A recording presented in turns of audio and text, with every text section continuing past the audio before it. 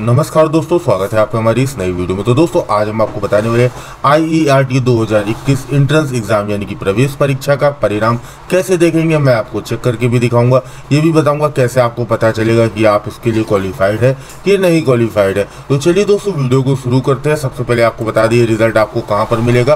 तो ये रिज़ल्ट आपको मिलेगा रोज़गार रिज़ल्ट डॉट कॉम पर। जी हाँ दोस्तों पुरानी ट्रस्टेबल वेबसाइट रोज़गार रिज़ल्ट डॉट कॉम और साथ ही साथ आपको ये रिज़ल्ट मिलेगा सरकारी रिज़ल्ट डॉट कॉम पर। गूगल पे जब भी सरकारी रिज़ल्ट लिखिए लास्ट में डॉट कॉम ज़रूर लगाइए, क्योंकि इसके नाम से मिलती जुलती बहुत सी नकली और फेक वेबसाइटें आ गई हैं। तो सीधा आपको चलना है रिज़ल्ट में, मैं मैं थोड़ा मार्कर ले लेता हूँ। देखिए, यहाँ पे आकर दोस्तों आपको या तो रजिस्ट्रेशन नंबर डालना है, या तो रोल नंबर डालना है, लेकिन साथ ही साथ आपको डेट ऑफ़ बर्थ डालना कंपलसरी है।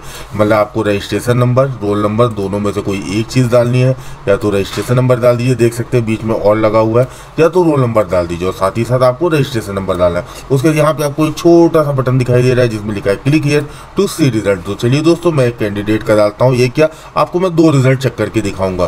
तो सबसे पहले मैं कैंडिडेट का डिटेल्स डालता हूँ और आपको दिखाता हूँ रिज़ल्ट कैसे खुल रहा है।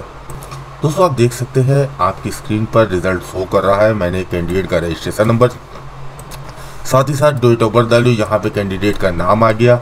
ठीक उसी के नीचे उसके पिता का नाम आ गया। नीचे यहाँ पे आप देखेंगे तो यहाँ पे रिज़ल्ट आ रहा है स्टेटस नॉट क्वालिफाइड यानी कि इसका सीधा मतलब है, जो कैंडिडेट नॉट क्वालिफाइड है, वो काउंसलिंग की प्रक्रिया, प्रवेश प्रक्रिया में अब शामिल नहीं हो सकते। अगर सेकेंड मेरिट लिस्ट नहीं आती है तो अगर बाई चांस अगर सीट खाली रह जाएगी तो रिज़ल्ट अगर सेकंड मेरिट लिस्ट आएगी, और ये कैंडिडेट क्वालिफाइड शो करेगा, तभी जो है, आप जो उसको देख सकते हैं मतलब कि आप जो काउंसलिंग प्रक्रिया में भाग ले सकते हैं। चलिए दोस्तों, एक दूसरा रिज़ल्ट आपको चेक करके दिखाते हैं।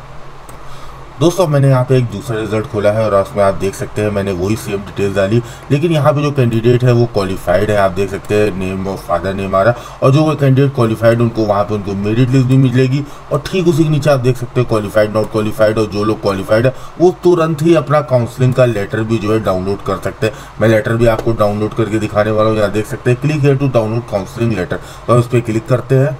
दोस्तों, जैसे आप इसको जो डाउनलोड पे क्लिक करेंगे, आप यहाँ पे देखेंगे इंटीमेशन लेटर और काउंसिल लेटर एडमिशन टू आ जाएगा, जिस कोर्स के लिए आपने अप्लाई किया है, इसकी परीक्षा कब हुई है, वो आ जाएगा।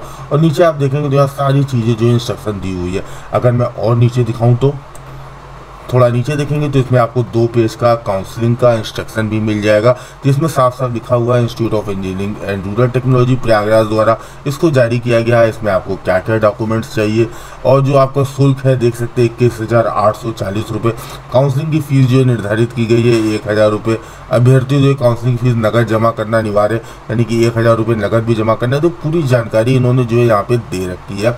कि आपको काउंसलिंग का प्रोसीजर कैसे करना है, क्या करना है, सारी जानकारी दे रखी है। तो दोस्तों, आज की वीडियो में इतना ही।